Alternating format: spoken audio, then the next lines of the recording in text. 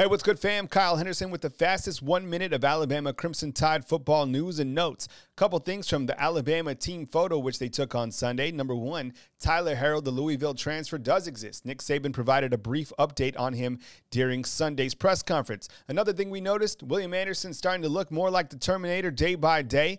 And as you can see, Emil Ekiyor got his diploma from the University of Alabama. Congratulations to him. Michael Phelps, aka the Flying Fish, stopped by the University of Alabama. Total gold medals won 23. Talked to the team about pride, performance, all those things Nick Saban likes you to talk about. Also stopped by the barber shop. Can't wait to see that episode drop. The GOAT still rocking the shades during practice, and Alabama held practices number two and three over the past two days. Be sure and catch all our coverage back at Bama Insider. Reporting from beautiful Tuscaloosa, Alabama, this is Kyle Henderson of Bama Insider.